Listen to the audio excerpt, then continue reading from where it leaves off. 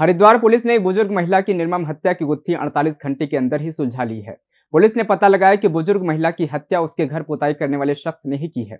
आरोपी ने पहले महिला के घर में चोरी की, जब उसकी चोरी पकड़ी गई तो उसने मनगढ़ंत कहानियाँ रचकर महिला को चोरी का सामान दिलाने का भरोसा दिलाया और उसे ऑटो में ले जाकर उसकी हत्या कर दी। पुलिस ने आरोपी को गिरफ़्तार कर लिया है। हरिद्वार में निखिल कुमार नाम के व्यक्ति ने अपनी माँ सुनीता की गुमशुदगी की रिपोर्ट थाने में दर्ज कराई।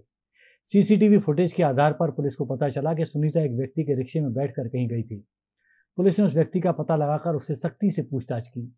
उस व्यक्ति ने अपना सारा गुना कबूल कर लिया। दरअसल इस व्यक्ति का नाम नसीम है और ये महिला के घर पर पुताई का काम करता था। इसी दौरान उसने महिला के घर से ज्वेलरी और पैसे चुरा लिए, जिसकी भनक महिला को लग गई। उसने इससे पूछा भी, लेकिन इसने बहाना बना दिया और मन गढ़ंत कहानी रचते हुए कहा कि एक बाबा हैं जो आपकी ज्वेलरी और पैसे के बारे में बता सकते हैं। महिला इस पर विश्वास करके इसके साथ बाबा से मिलने ऑटो में बैठकर चली गई। रास्ते में इसने महिला को नहर में धक्का दे दिया, जिससे महिला की मौत हो गई। पुलिस ने आरोपी के घर से चोरी का सामान बरामद कर लिया है। कोतवाली में दो दिन पूर्व जो आठ तारीख को सुनीता देवी है पैंसठ साल के करीब की उम्र है। और पीठ बाज़ार में रहती इनकी गुमशुदगी इनके बेटे द्वारा लिखवाई गई थी, जो गुड़गांव में कार्यरत हैं और इस गुमशुदगी लिखाने का उनके द्वारा बताया गया कि उनकी माता जो है प्रातः जो है, अचानक से चली गई थी, लेकिन दोपहर तक वापस नहीं आई है। सूचना पर वो गुमशुदगी लिखाने वहाँ से आया और उस पर गुमशुदगी लिखवाई गई। चूँकि एक बुज़ुर्ग महिला इस तरह से अचानक से बिना बताए घर में भी एक पोता उनका बारह साल का था और इस तरह से जाना प्रथम दृष्टया संदिग्ध प्रतीत हो रहा था। इसलिए तत्काल इसमें जो है, थाना और एस वाली जो हमारी सी की टीम है, इनके द्वारा पहले हमने पूरी सीसीटीवी फुटेज को चेक किया कि किस संभावित रास्ते पर गई होंगी। उसमें एक ई रिक्शा से जाते हुए वो दिखी वहाँ पर और उसमें एक व्यक्ति भी दिखा साथ में। तो चूँकि इस व्यक्ति की पहचान उस समय नहीं हुई थी तो कहीं ना कहीं संदिग्धता प्रकट हो रही थी कि क्या माजरा हो सकता है, चूँकि रात तक वो वापस मिली आई भी नहीं। तो इसके आधार पर जितने भी कॉल डिटेल वगैरह उनकी थी और चीज़ों को हमने एनालाइज किया तो उसके बाद पाया कि पथरी रो पुल के पास लोकेशन आ रही थी लास्ट में जो फ़ोन था और जो संदिग्ध नंबर भी था। इसको देखते हुए हमने सीसीटीवी फुटेज के आधार पर ई रिक्शा चालक को भी ट्रेस आउट किया। उससे पता चला कि उसने एक बुज़ुर्ग महिला और एक व्यक्ति को जो है पथरी रो पुल के पास छोड़ा था।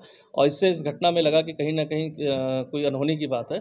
और उसमें वसीम नाम के जो व्यक्ति को उस पर पूछताछ के लिए जब इसमें संदिग्धता के आधार पर पूछताछ की गई तो सारा घटनाक्रम खुला कि वह पूर्व में उनके यहाँ पर पताई का काम कर चुका है और लगातार बीच बीच में काम करता है। कुछ दिन पूर्व उसने इसी काम के बहाने उनके यहाँ से ज्वेलरी को चोरी कर ली थी। जिसका शक सुनीता देवी जी को उनके ऊपर हो गया था और जिसके बारे में उनका कहना था कि, कि अगर नहीं बताएगा तो पुलिस में शिकायत करेंगे। इस घटना को बचने के लिए उसने एक कहानी रची कि एक्चुअल चोर के बारे में और किसने चुराई आपकी ज्वेलरी, इसको एक बाबा बता सकते हैं और आपको अगर आएँगे तो वहाँ उनसे मिल, मिलवा देंगे।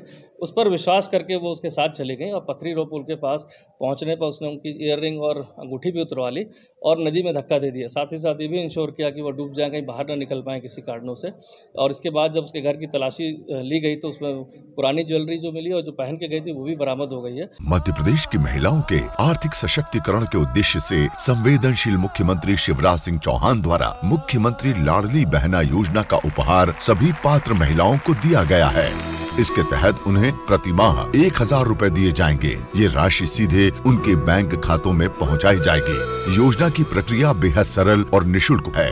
योजना से जुड़ने के लिए बहनों को कहीं भटकने की आवश्यकता भी नहीं है। दस जून को पहली किस्त बहनों के खाते में आ जाएगी एक हज़ार रुपया की पहली किस्त।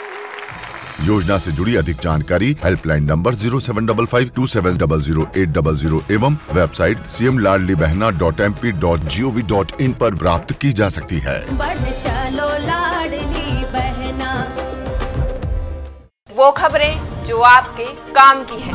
वो खबरें जो आपके लिए ज़रूरी है। हर आम और खास से जुड़े मसले। हर मसले का सटीक विश्लेषण। हम करते हैं सत्य का अन्वेषण। दखल न्यूज़। आपके हक में। आप देख रहे हैं दखल न्यूज़।